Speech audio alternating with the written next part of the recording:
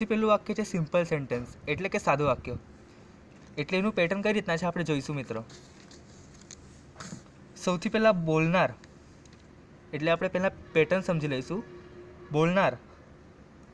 Plus told plus સાંભળનાર plus that plus આરએસનું વાક્ય. આરએસ એટલે રિપોર્ટર સ્પીચ બરાબર? એટલે આપણે સમજીશું તો વધારે ધ્યાનમાં આવશે. સૌપ્રથમ ઉદાહરણ જોઈ લઈએ. Praveen said to Hina Praveen said to Hina you bought a nice sari yesterday Praveen અને હિના વચ્ચે વાર્તાલાપ થાય છે. પ્રવીણ હિનાને કહે છે કે you bought a nice sari yesterday ગઈકાલે તું એ સરસ સારી ખરીદી હતી. હવે એનું ઇનડાયરેક્ટ કઈ રીતના થશે એ જોઈએ આપણે. પ્રવીણ, આપણે પેટર્ન પ્રમાણે જોઈશું તો, બોલનાર, એટલે કે પ્રવીણ આવી ગયો ભાઈ. પછી ટોલ્ડ પછી સાંભળનાર કોણ છે? Praveen said to Hina. એટલે પ્રવીણ હિનાને કહે છે, એટલે કે હિના સાંભળે છે. એટલે પ્રવીણ ટોલ્ડ હિના સંયોજક તરીકે આપણે ડેટ વાપરીશું. ડેટ પછી you bought a nice sari yesterday.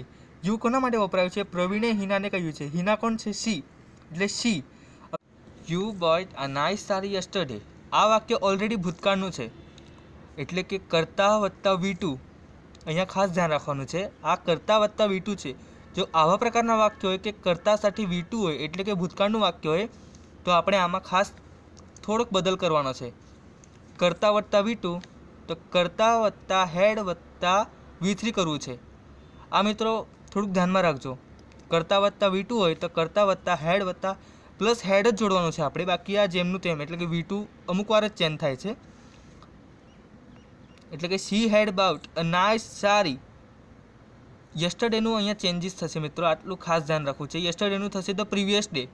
અહીંયા ખાસ ધ્યાન રાખવાનું છે અને અહીંયા કરતા વત્તા વી ટુ તો કરતા વત્તા હેડ વત્તા વી થ્રી આ ખાસ ધ્યાન રાખવાનું છે. એના પછી આવે છે મિત્રો ઇન્ટરગેટિવ સેન્ટેન્સ એટલે કે પ્રશ્નાર્થ વાક્ય વાક્યરચના જોઈ લઈએ. સૌપ્રથમ આવશે બોલનાર વત્તા આર્ટ્સ વત્તા સાંભળનાર.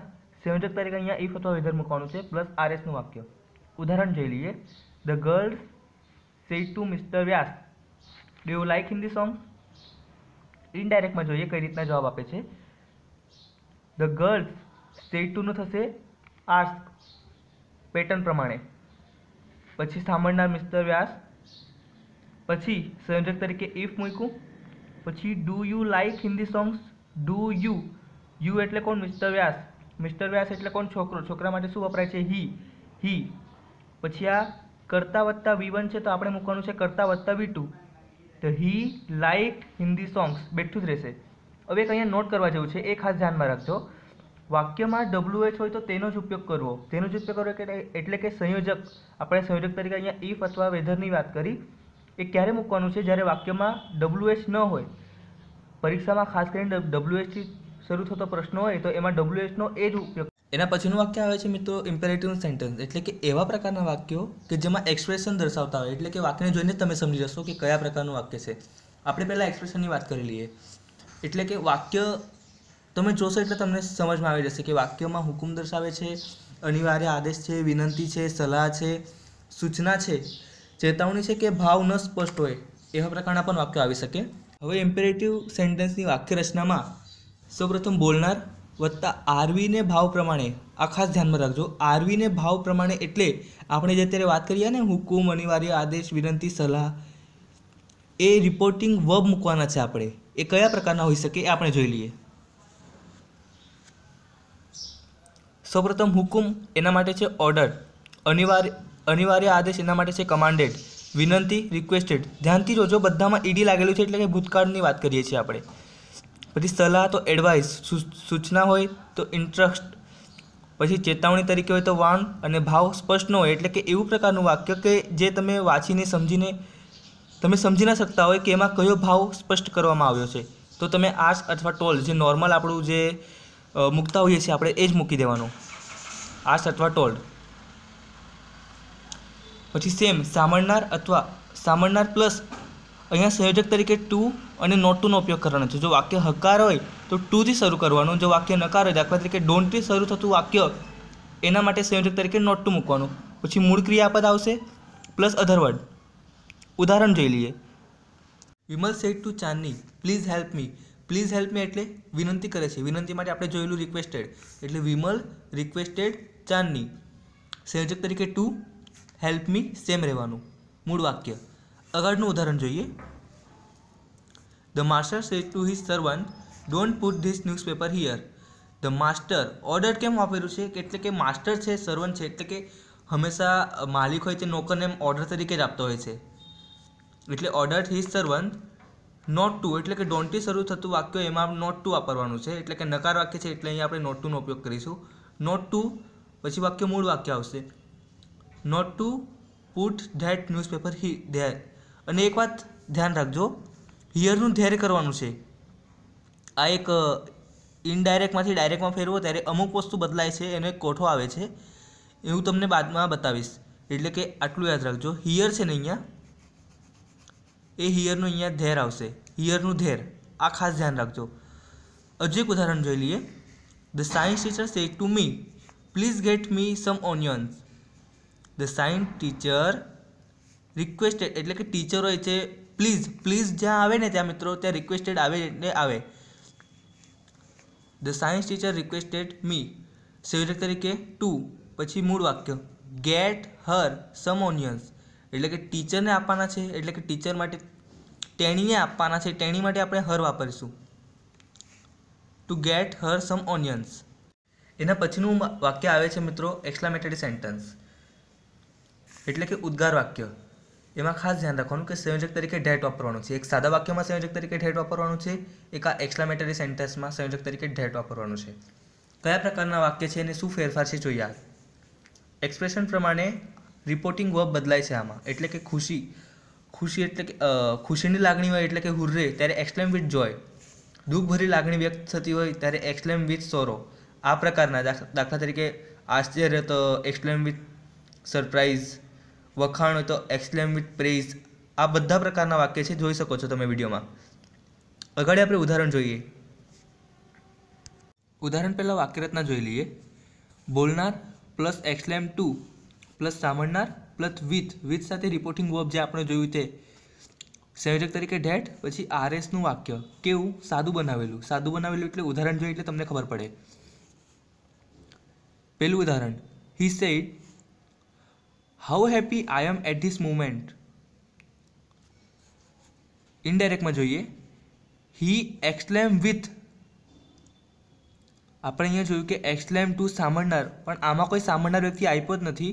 તેથી આપણે એટલે એક્સલેમ વિથ જોય સંયોજક તરીકે ધેટ પછી આપણે અહીંયા વાક્યરચનામાં જોયેલું કે સાદું બનાવેલું વાક્ય. How happy I am at this moment હવે આ વાક્યને સાદું બનાવવા માટે પહેલાં તો જે સાદું છે, એટલે કે સિમ્પલ સેન્ટેન્સ છે, એને આપણે ભૂતકાળમાં બનાવી લઈએ.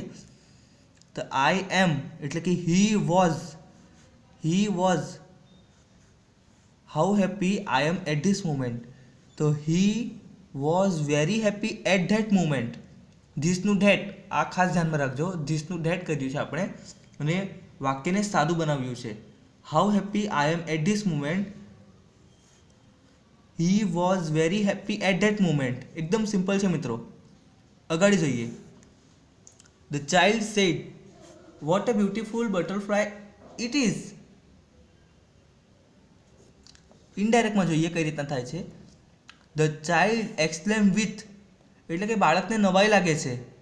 એ આશ્ચર્યચકિત થાય છે.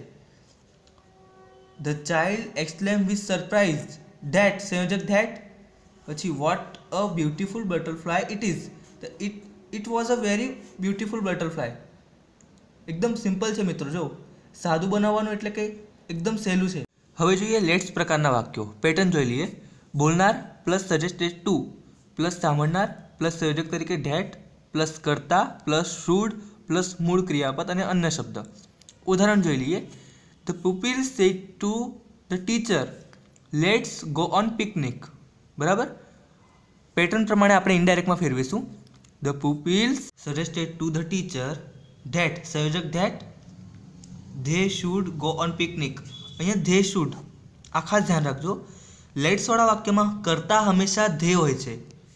કરતા ધે હોય છે. કરતા પ્લસ શુડ એટલે કે they should go on picnic આગળનું વાક્ય જોઈએ. બોર્ડની પરીક્ષામાં અમુક વાર આવા વાક્ય પણ પૂછાઈ જાય છે. શુભેચ્છા દર્શક વાક્યો. એટલે કે કયા પ્રકારનું છે જોઈએ. પેટર્ન જોઈ લઈએ. બોલનાર પ્લસ વિશ પ્લસ સાંભળનાર પ્લસ શુભેચ્છા દર્શક વાક્ય. ઉદાહરણ જોઈ લઈએ. The pupil said to the teacher good morning sir ઇનડાયરેક્ટમાં જોઈએ. ધ પુપિલ ટુ ટુનું વિશ ધ ટીચર પછી ડાયરેક્ટ સાંભળનાર ધ ટીચર પછી શુભેચ્છા દર્શક વાક્ય. ગુડ મોર્નિંગ એકદમ સિમ્પલ છે મિત્રો.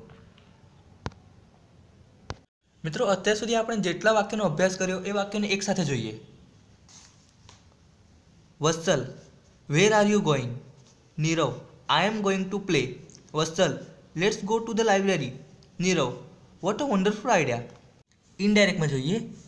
વત્સલ આસ્ટ એટલે કે પ્રશ્ન વાક્ય છે, એટલે આર્ટ નીરવને કહે છે. વત્સલ આસ્ટ નીરવ. પછી ડબલ્યુ છે તો આપણે એનો જ ઉપયોગ કરીશું. Where where are you going where he was going એટલે કે are you you are present tense છે. પ્રેઝન્ટનું પાસ્ટ કરીશું. Where he was going Nirav reply him હવે પ્રશ્નના જવાબમાં જો સાદું વાક્ય આવતું હોય જવાબમાં, પ્રશ્ન વાક્ય પછી જો જવાબમાં સાદું વાક્ય આવતું હોય, તો આપણે ટોલ્ડ મૂકતા હતા, અહીંયા ટોલ્ડની જગ્યાએ રિપ્લાય મૂકવાનું છે. નીરવ રિપ્લાઇડ હિમ દેને. સંયોજક તરીકે ધેટ પછી I am going to play એટલે કે he was going to play એકદમ સિમ્પલ છે. આગળ જોઈએ. Vatsal let's go to the library હવે વત્સલ સજેસ્ટેડ ટુ હિમ સંયોજક તરીકે that they should go to the library છેલ્લું વાક્ય. Nirav what a wonderful idea Nirav exclaim with એને વખાણ કર્યા છે. એટલે કે Nirav exclaim with praise that. It was a very wonderful idea I hope આ વીડિયો જોઈ તમને ઇન્ડાયરેક્ટ સ્પીચમાં સંપૂર્ણ રીતે સમજ પડી ગઈ હશે. હું આવા જ અવનવા ધોરણ આઠ, નવ અને દસને લગતા વીડિયો અપલોડ કરતો રહીશ. જેથી ચેનલને જરૂર સબસ્ક્રાઈબ કરજો.